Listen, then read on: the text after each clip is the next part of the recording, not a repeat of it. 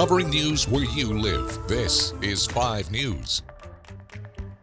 Well, thank you for joining us here for the latest news and weather where you live. I'm Joe Ellison. The Northwest Arkansas Crisis Stabilization Unit is facing a funding issue. Washington County was recently notified that the state will be cutting funding from 90,000 a month to 60,000 a month. The 16-bed voluntary behavioral health program serves as an alternative to inpatient hospitalization or a trip to the emergency room. The county is responsible for providing the facility and the state is responsible for reimbursing the county for the service provider, which is UAMS. Washington County Judge Patrick Deakins says the county can't shoulder the difference and they're asking the state to uphold their partnership and not cut that funding. It needs to be reliable and consistent for both the law enforcement agencies referring individuals here, but not only that, the healthcare industry uh, referring individuals here. If you're an individual who's experiencing crisis, we need you to know that when you pick up that hotline, that facility is going to be there and ready to serve you.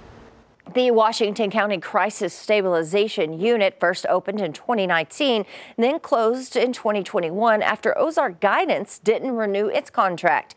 It reopened last August with UAMS as the provider.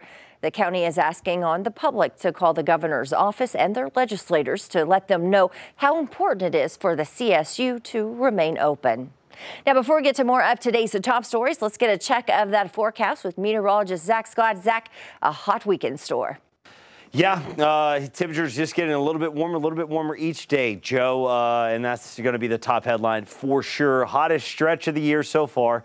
It's coming in. It's late July. We're going to keep the heat and roll it right into early August, likely too. Uh, temperatures up into the mid 90s today. We're going to uh, top out around 96 in our warmer spots in Northwest Arkansas. I think overall we're mostly going to be about 93 to 96 degrees. Looking for temperatures come down some for us, a little bit faster in Northwest Arkansas.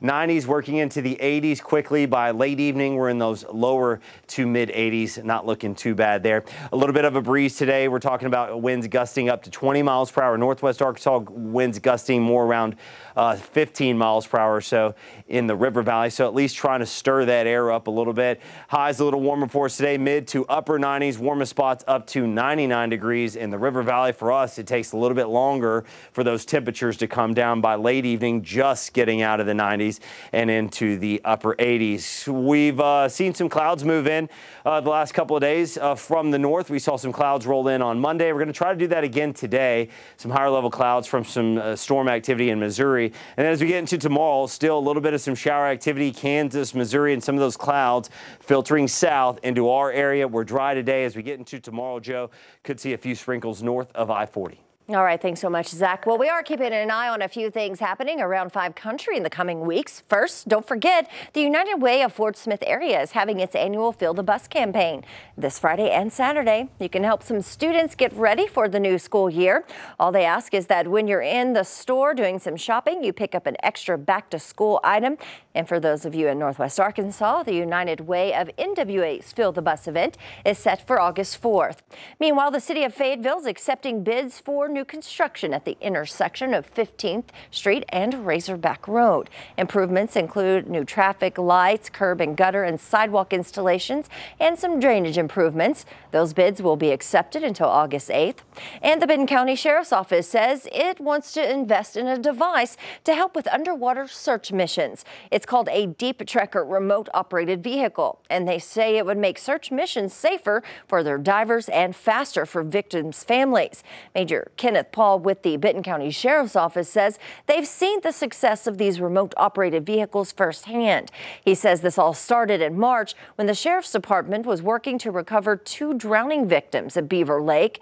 After weeks of searching and help from other organizations, they were able to recover the bodies at 185 feet with the help of one of these vehicles.